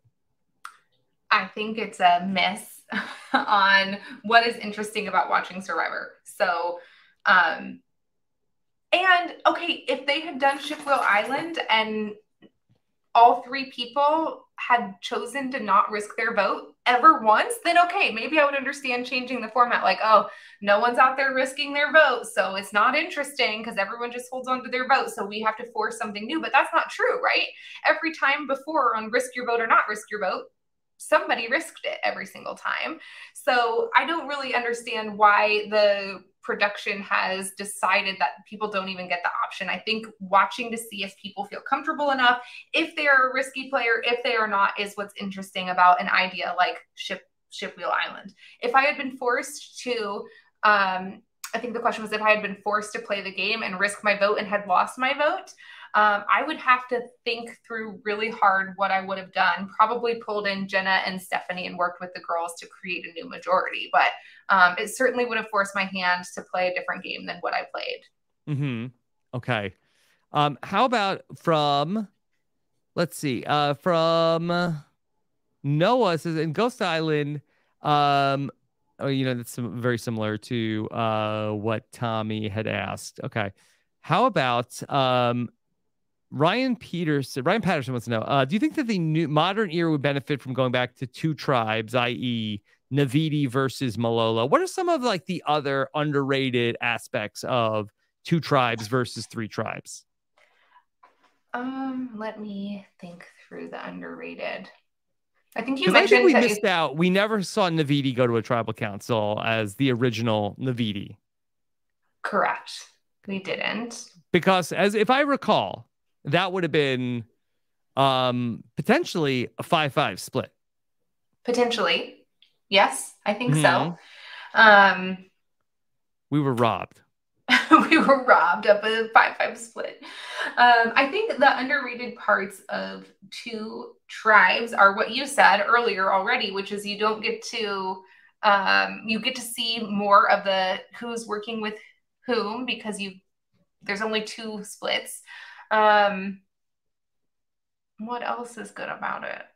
I mean, sorry, I'm drawing a blank. Yeah. Even though, well, I just I guess I know the reason. Two tribes, uh, just because I feel like that the players have so many options. It's really the mm. opposite of that. There's nowhere to hide. There's so many different variables of like what could happen. Whereas, you know, it really gets down to such a binary choice of like, okay, it's either this person or this person tonight. Yeah, there are different ways to go, different ways to move in the next vote as well. I think um, once you see where the lines are drawn with more people, then you have more pawns to play with if you're a person who is running running the game or running your own game. Mm-hmm. Um, and yeah, just more time in general with each tribe because there aren't three different camps to go to. So we get to know the players a little better. Um, even even if their fear is that just two tribes is boring. Like they're not going to stay two tribes like we did. And we were two tribes before mm-hmm. our first swap for like nine days. Now there isn't even room for that, right? So even if they were just two tribes, it would only be for the first two votes or something. That would be for six days. It's moving so fast that keeping two tribes and putting in a swap, um, it couldn't get boring. Mm-hmm. Okay. How about um, this is a question from uh, Tommy Guam wants to talk about tribe loyalty. Is tribe loyalty still important or is it a thing of the past mm. in the new era? What do you think about that? I think that the game moves pretty darn quickly to use tribe loyalty for too long, given it's not a ton of days that you're with that original tribe. Plus, tribe loyalty, once you merge, doesn't ever likely give you a strong majority. Mm-hmm. Um, so to me, tribe loyalty is a great fugazi, fugazi yeah. for I'm in the numbers and I'm in the majority of the majority. And therefore, we should just say that we're all a happy family. And that's the way to move forward with the narrative of keeping your power. I think here in the new age, even if they would go to two tribes, the game is moving so fast that the bonds that you would yeah. perceive like or be perceived to build cannot be as strong as strong simply because of time total time. Kellyn, there. I agree that the people that they cast on the show, they don't need to put as many things into the game because the players are so uh, even from Ghost Island, you know, that from you from you from the Ghost Island cast, not to disparage the Ghost Island cast to now, that the level of like game knowledge of the players is probably, you know, twofold at least. Yes. A different chart we're talking, mm-hmm. I think. Yeah. So I think the players are going to make moves. Like you don't have to worry about like, oh, this group has six and they have five. That's it. Game over. I, I, that's not even what was happening in Ghost Island, even though they chose to mm-hmm. say that, right? Like that yeah. it wasn't even what was actually happening. So, um, I think anytime that it seems like people are talking about tribe loyalty when you're a player and when you're watching the show, while you may be annoyed by it, maybe just look one little, just dust the dust off the top of that tribe loyalty sign and see what those players are actually talking about. Okay we saw Sarah voted out with her idol or her fake idol last night. She didn't find out it was a fake idol until uh, uh, a little while after they filmed the show. You and Dr. Mike were tweeting about this uh, today about uh, finding out that sort of like a, a little bit from the opposite way that Chris Noble had an idol in his pocket when he got voted out that nobody knew about. Yes. One of I have to say, as much as I don't want to give Chris Noble credit for anything happy in my life, uh, that was the absolute best moment for me watching the show back. Was Chris told, and to this day, I, I think no one that he left with an idol that day. So mm-hmm. the and that he had gone off into the boat to go get the idol. I think no one knew. So I'm like sitting with, I think there were 75 people at the bar. It was like the one viewing show. Viewing parties weren't as popular back then. And I had one week of it. And this is where it was. I was sitting at the bar with like the big screen and he like starts to go out in the middle of camp. And I'm like, what is happening? Mouth hanging open. And to find out that he had an idol and didn't play it that whole time, I mean, it was insane. It was probably my favorite moment as a survivor and survivor fan to have lived out there and been a part of it and had no idea what was going on. I'm so thankful that he didn't tell anybody. Was Chris difficult to live with? Because I feel like that you uh, did not really have a lot of interaction with him on camera. He was very difficult to live with. Yes. Extremely. Yes. Extremely. Yes. Yes. Yes. Like, uh, and he and I just didn't did not have anything in common about the way we view the world, about how we talk about things and people, um, about reality, you know. Um, you mean like Survivor and Big Brother? Uh, yeah, well, it's yeah, just nothing in common whatsoever. I mm-hmm. wish him mm-hmm. all the best, but no, we were not friends. Um, in fact, in like when we would run into each other at post show events where we would all be together, it was no really love lost there. Okay. All right. Kellyn, I want to ask you about Australian Survivor, but I want to make I want to give people the opportunity. If you, you was there anything else about Survivor 44 that you want to make sure we address? Let me check my notes real quick. I talked about Carson. Oh, Jamie also did a pretty good job of coming, uh, uh, like landing on the beach. Go back and watch. Yes. If you're a person who's about to play Survivor, watch what Carson did, watch what Jamie did, and then in contrast, watch what Josh did. The complete opposite of what mm-hmm. you should do. Yeah, Jamie's been very fun. Yeah, Jamie's a, Jamie's a great watch. I think. Yeah, and um, that's it. Yeah, that's all good. Okay. All good. We crossed everything. I'm excited to see what happens next week. I really hope Tika doesn't go back to tribal just because I think it is a clear um well it's not clear but mm-hmm. I don't I don't want it to go down to to two there. So, but mm-hmm. is that mm-hmm. what's going to happen? There's one more boat, and then there will be like the fake. If merge? I had to guess, yeah, mergatory, yes, okay. that that is what I would uh, suspect of how that's going to go. But you know, it's uh, that's one of the problems with such a strong cast is you don't want to see anybody go home, but uh, ultimately, um, you know, people will be more mad if somebody doesn't go home than if somebody does. probably, probably me too. I guess. Yeah. Okay. All right. Um, so Kellyn, I was uh, you know, going through your uh socials earlier today, and I saw that uh, I didn't know you were so big into Australian Survivor. Oh, well, Australian Survivor season 2023 spoiler alert. Okay. Don't say like, oh, you spoiled Australian Survivor for me. I like I, I like I am done. We're done talking about Survivor 44. yeah. So if you don't up. want to know something about Australian Survivor, or like oh, I was sleeping and then I woke up and I didn't hear the spoiler alert? It is hard to not get spoiled. However, on I have to say, oh, you have to be a master of me. like remembering believe not me. to even turn over. Don't turn on your computer.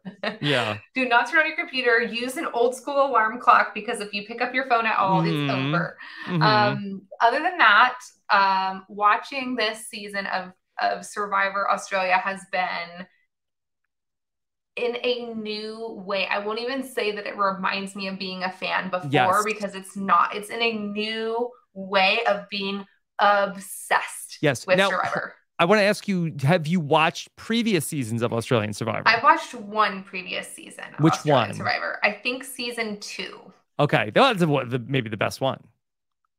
I, I, I, well, I was gonna. I'm pretty sure it's season two. It has. Don't say. Don't say who wins. Uh, but well, I don't know uh, who who Yes. Okay.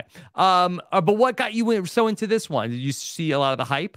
I saw I saw the hype. Yes. I think yes. that's what it was. And actually, good old Adrian, here he is making a, a an appearance again. My husband, he said, Wow. Don't your didn't you say your poker friends have that Australian survivor link? Can't should we start watching it?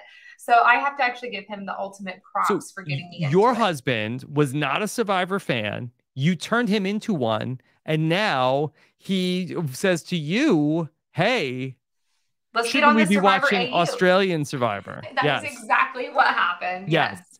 And it is so it has been so good, but it's also like such a contrast to the things that uh, we maybe are not loving so much in the new era. Yeah, I think it does make you feel some sort of way about watching US Survivor, which is mm-hmm. not necessarily a good feeling of having to go back to watching US Survivor because Australian Survivor is what you wish Survivor would be like to watch. Right. And I will say that this season has been an all timer. And from all accounts, the previous season was not. Okay. Okay. So uh, they're not all like this. I think that when Australian Survivor, when it's good, it's incredible. And when it's bad, it goes on forever and ever and has a lot of things that people don't love.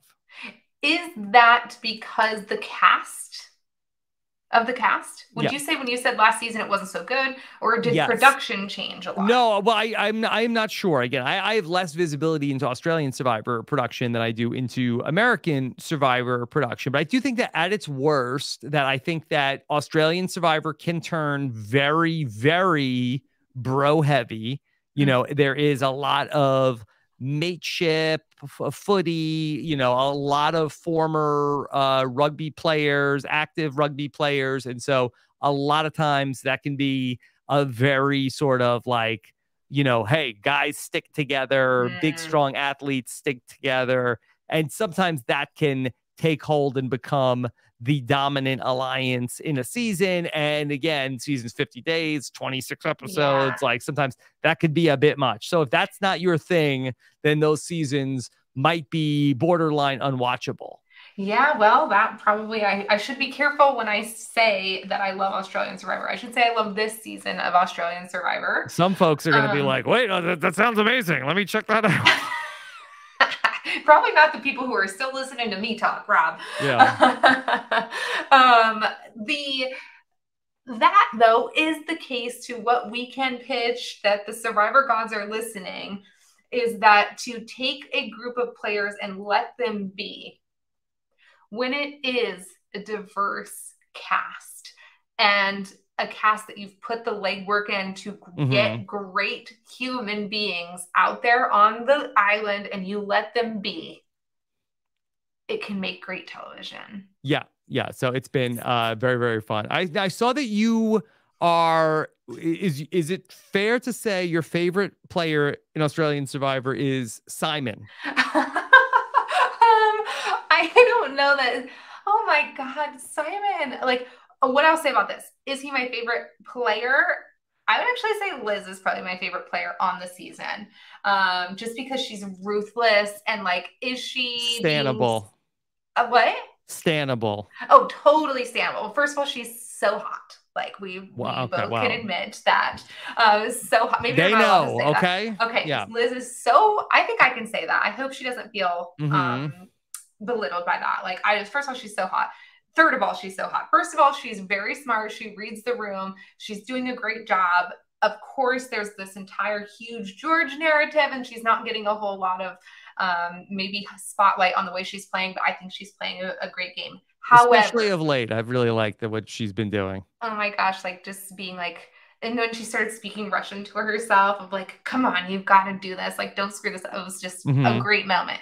However, Simon is a survivor player who has made me feel I think every core feeling on like the human uh, ring of emotions to have. Like he's made me feel like he's an he's a silly bro. Like that I don't like. He's made me feel I've cried for Simon. I have laughed at Simon. I have laughed with Simon. I mm-hmm. felt sad for him. I felt lonely with him. Like he has been taking us all, I believe, on the journey, a 360 degree emotional journey of watching his game and to like really just like a bro kind of at the beginning and then towards the end being like, and he's like, and I want a car. And, and I'm like, oh my God, and you want a car. Like it feels yep. so good to root. I bought my snuffed hat. It has not arrived yet. Um, I, I paid full price. I am just a, a, little Stan fan, Simon, Simon little fan over here. Um, I, am hoping that he uh, someday will know who I am. That is my yes. goal. Yes. Okay. um, well, that's it's been really, really fun. And I've, you know, there's been so many like US Survivor players that I've been like talking to about Australian Survivor. And of course, Shannon Guss does the amazing coverage of everything Survivor Global. And I've been doing like a weekly check in with her, which has been very fun. We talked with Evie uh, this past week about uh, this season. And so th- those have been really really fun to do but yeah i just have like a, a, whole group of like us survivor players that we talk to because to me i really feel like that and adam klein said this on the podcast with shannon this past week that the australian survivor season i think is a much truer representation at least to me of what playing survivor was like especially compared to what the US survivor game is at this point in time, which, especially from what I played, is like unrecognizable uh, to somebody to say that you know it's like showing somebody like uh, you know an NFL game from the 40s and then showing them like what's on TV now. Yeah, it has a nostalgic feel certainly when you're watching it. Um, my my biggest question on this Survivor AU journey, and I would say as equally as um, amazed as all the ways I feel about Simon. I feel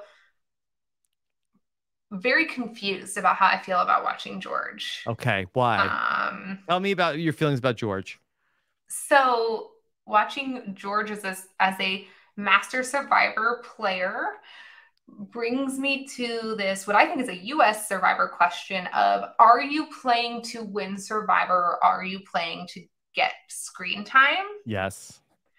And I think that he's ultimately playing for screen time and I think it will be like Tony stands out as this we call it uh what what kind of word do you call the Tony win just uh, I call it an unicorn. outlier. Yeah. I'm sorry, what did you say? Unicorn. A unicorn. Like if George wins this, I think it's a, a unicorn way of winning. I don't think it can be repeated again. Mm-hmm. Um, and back to where we talked about the system of survivor I don't think a woman could go out and speak about people the way about and to people the way that George speaks about and to people and be seen as a master game player. I think that would be called a CUNT. And so very, very is, fair points. Very fair point. that is my mm-hmm. confusion because sometimes I am watching him and just being like, I cannot believe he's doing this and getting away with it. Um, and if he makes it all the way to the end, like good on him. I, I wouldn't take nothing away from his game. It makes me just, to be frank, jealous that I would mm-hmm. never be able to go out and play Survivor like he plays Survivor. Maybe one day we will get that. Mm-hmm. Survivor 75. well, maybe. maybe. Survivor 75. Yeah, I don't know. It's it's really I'm trying to think watch. of who would be the a the woman player who has been the closest to that and has been successful. Um, I feel like that maybe Sophie might be the person, but Sophie was not is not nearly like uh maybe like uh in private as like cutting as George. Um, not nearly uh in, public, although she did say that coach was like uh the dumbass girl that Russell Hantz had in his alliance. Uh, she did say that at the final tribal council. So um i but i don't think that she was like as she was like also like um under the radar and uh not seen as the person who was uh the mastermind at least not in her original winning season maybe a little bit more so in winners at war and then she ultimately had to be taken out by tony mm-hmm. but i don't think mm-hmm. that we've ever had uh, a woman come close to winning the game that uh, played it at all in the style of a George. And again, yeah, there's been very few men who have been a George. fair, also. fair, very fair. I guess and, I don't and, remember and succeeded. Yeah, I don't remember Sophie going up to people and doing things like saying your head is on the chopping block. You are going home. Your game is dead. And this is what you're going to do. I don't remember Sophie ever talking no, like that. No, okay, but I'm just, I, I, was like, looking for who, maybe the people in the chat uh, or in the. Uh, I think uh, people could... tried to say Kim Spradlin, which is absolutely no, not true. No, definitely not. no yeah. way. Um, and, and but going back to what you said earlier about like uh you know a, a woman with a plan ends up being a target. You know, Kim came out of a season where it was men versus women, and you know if, if Kim started on a season with you know it being you know uh you know you know five men and five women in her tribe, like maybe somebody's like, hey, uh this kim she's got uh too many pl- i mean she probably would have figured out a way out of it but there might have been some talk about like hey we have to get take her out yeah, I think she, we, a lot of people, and I agree with this, is Morgan from our season was very like Kim Spradlin esque. And it's like, yeah, she was gone as soon as there was a, a early chance. So, anyway, mm-hmm. I, I cannot recommend if you have any hesitation about watching Survivor AU, it is worth it. Um, mm-hmm. And we'll see what happens, right? Finale weekend. Finale next right week. Up here. Okay. All right. Kellyn, uh, well, this was so great to get to catch up that this was uh, again these podcasts with you are always so fun. Uh, i would love to do more stuff like this uh, in the future.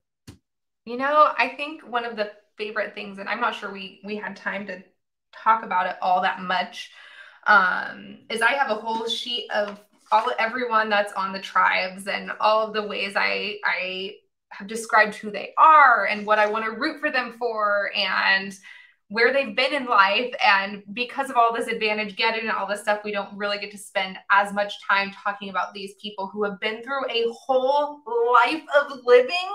Like nobody has been who is on that beach has just been like going through school and just being like average in life, like in boring life. Like mm-hmm. all these people have wonderful stories and yes.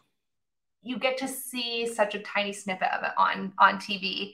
Uh, I wish we had more time to talk about some, yeah. like more about the contestants for sure. And then the bar to get on the show is so high. I think about it like, uh, you know, my college that I went to, uh, SUNY Oswego, uh, uh, or Oswego State University, as they call it now, uh, that I feel like at the time that I got in, since like uh, in the years after, like I don't think I would have gotten into uh, the college. I think they raised their standards. I think the same thing was true with Survivor, also uh, in the many years that came to pass. But Kellyn, do you think that you know they've shortened the game from 26 uh, from 20 39 days to 26 days. And also they've sort of like accelerated the pace.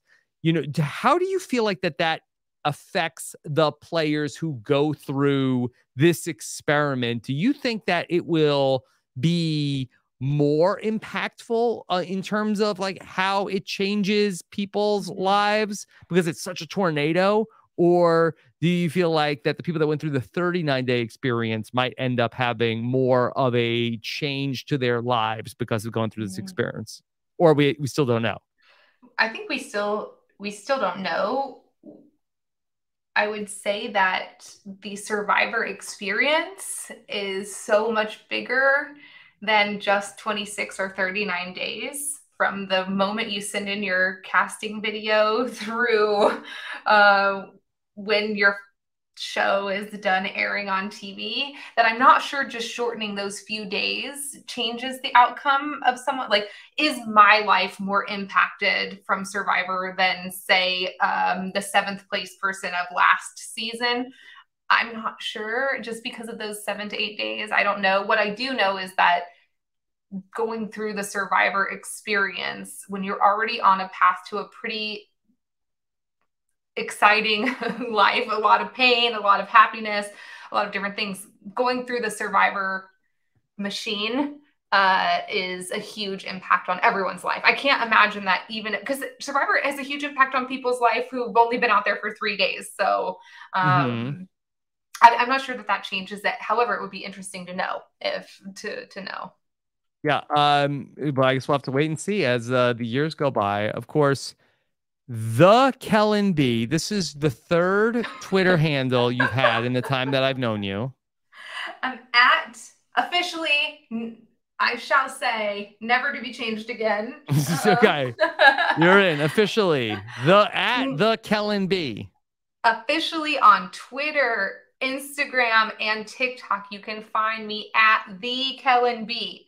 Um, yes, the with one E. So I'm trying to trying to make it easy. I was just on a podcast the other day. It was a mess to try to explain what I was on all three different handles. So I finally found one that works because somebody took Kellyn Bechtold. I waited mm-hmm. too long. okay. Um, but you could follow Kellyn, of course, uh, Instagram, Twitter, um, LinkedIn also. Oh yeah, I'm on LinkedIn, Kellyn mm-hmm. Bechtold and kellynbechtold.com. I have a new website yeah. coming out hopefully by the end of this month. So what about coaching? What about coaching? Are the, are you accepting people looking for coaching? Clients, yes, I am taking new clients. Um, Calendly.com backslash Kellyn Bechtold. You can just mm-hmm. put time right on my calendar. I would say that coaching is and life coaching, like it makes me want to roll my eyeballs in the back of my head, Eliza style. Like the idea of it is really annoying to me, even though that is what I'm doing with my life. Um, but what I would say is people who find it valuable to spend time with me. Or maybe people who are feeling stuck, feeling overwhelmed. A lot of my clients are people who say their cup has been just poured out and poured out and poured out, whether they've been putting too much into their corporate job or um, they're wanting to change into an entrepreneurial entrepreneurial lifestyle like you robin like me where we get to work mm-hmm. for ourselves um, so helping people kind of get out of the daily grind and get into a life that's more full of adventure and joy and happiness because we do not have to live the life that we think we should live like I said back on those days on Ghost Island, and uh, I'm on the other side of that, and I've been helping others get there as well. And it's so fun and so fulfilling, and I care about my clients so deeply. So if you feel called to reach out, please do. I'd love to hear from you. Okay, empathy is Kellyn's superpower. She still got it. I still got it. I still got she still it. got it. Kellyn, thank you so much for making the time to talk about Survivor. I really thought we had a very interesting conversation about everything that we are liking and not liking here in the new era. And I do think that this is a, such an interesting question this week about what happened uh, at Tika and if it was the right decision for it's all parties. Really a lot. There's no right answer, right? But luckily, we get to see one of the options play out and uh, revisionist history, then we'll get to say whether or not Carolyn made the right decision. for sure. All right. Thank you all so much for joining us here for this podcast. We'll continue all of our coverage uh, with the rest of our Survivor podcasts uh, into the weekend. You can uh, check them all out in our Survivor podcast feed when you subscribe to robhasawebsite.com slash survivor feed. Jenny Autumn will be my guest on the feedback show. So if you have any questions that you did not hear on this podcast, you can send them in as a voicemail, robhasawebsite.com slash voicemail, or send us in a question, robhasawebsite.com slash survivor question. Thank you so much for joining us. Take care, everybody. Have a good one. Bye.